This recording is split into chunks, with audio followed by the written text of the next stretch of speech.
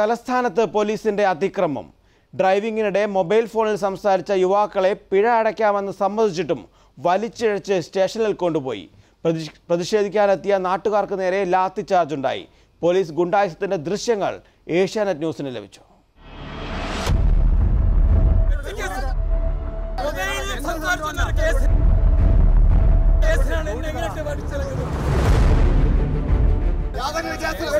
മൊബൈലിൽ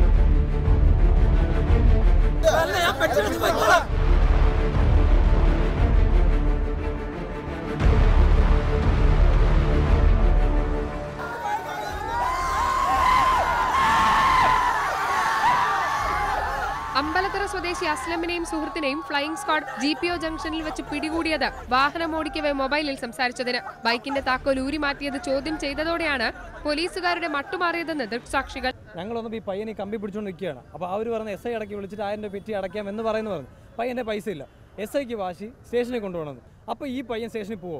ജനമൈത്രിയൊക്കെ പേരിലുള്ള വേണം നമുക്കൊക്കെ പേടി തന്നെയാണ്. നമ്മളൊക്കെ സാധാരണക്കാരാണ്. അതുകൊണ്ട് ആ പയ്യൻ പോകാൻ തയ്യാറായില്ല. നമ്മൾ പബ്ലിക്കാണ് നമ്മൾ ഗവൺമെന്റ് സർവൻസ് ആണ്. അതുകൊണ്ടാണ് പോലീസാനെ മേത്ത് ആരും തൊടാഞ്ഞത്? മനസ്സിലായില്ലേ? ഒരു വാക്ക് ചെയ്ത് വിളിച്ചിട്ടില്ല ഒന്നും പാടില്ല എനിക്ക് പേടിയാണ് കയ്യിൽ കാശില്ലെന്നും രസീത് നൽകിയാൽ പിന്നീട് പിഴയടയ്ക്കാമെന്ന് സമ്മതിച്ചിട്ടും സ്റ്റേഷനിൽ ഹാജരായ മതിയാകൂ എന്ന കണ്ടോൺമെന്റ് എസ് ഐയും കൂട്ടരും ഷടിച്ചു. വഴങ്ങാതെ വന്നതോടെ പിന്നെ കയ്യാങ്കളി. ഞാൻ പോലീസ് സ്റ്റേഷനിൽ കയറിയിട്ടില്ല. എനിക്ക് ഒരു കേസിൽ കയറാൻ താല്പര്യമില്ല. വെറും പറ്റി കേസ്. മൊബൈലിൽ സംസാരിച്ചു വന്ന കേസിലാണ് എന്നെ പോലീസ് സ്റ്റേഷനിലേക്ക്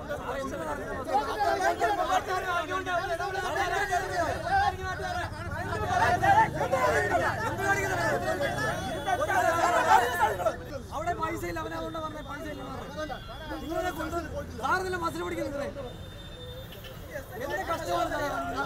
എന്ത് കഷ്ടമാണ് സാറേ കാണിക്കുന്നത്? ഒരു പാവത്തിന് മനുഷ്യനെ മന്ത്രിമാരെ വിളിക്കാവുന്ന വിടും.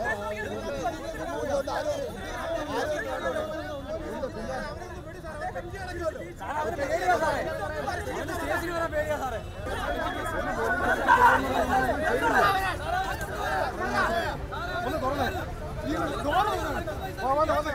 യുവാക്കൾക്ക് സഹായവുമായി നാട്ടുകാർ ഓടിയെത്തി. ആ പയ്യന് സ്റ്റേഷൻകാരൻ പേര് ആദ്യമായിട്ടാണ് കയറുന്നത് പറഞ്ഞത് അപ്പോഴത്തേക്കും പറഞ്ഞ് "പെ- ഞാൻ ഇവിടെ ഉള്ള ഉള്ള പൈസ പറ്റി അടിക്കാമെന്ന് പറഞ്ഞു. അത് സമ്മതിക്കാതെ ആ പൈസ അവനെ ബലമായി പിടിച്ച് വലിച്ചോണ്ട് പോകാറുണ്ട് ഭയങ്കര ഗുണ്ടായിരുന്നു ഇതൊന്നും അല്ല ജനമേത്ര പോലീസ്. നമ്മളെല്ലാവരും പറഞ്ഞു സുഹൃത്തുക്കൾ ഞങ്ങൾ തന്നെ പിരിച്ചു കൊടുക്കാന്ന് പറഞ്ഞു പിരിവിട്ട് കാശ് നൽകാമെന്ന് പറഞ്ഞിട്ടും പോലീസ് കനിഞ്ഞില്ല. വലിച്ചിഴച്ച് ജീപ്പിൽ കയറ്റി കൊണ്ടുപോയി.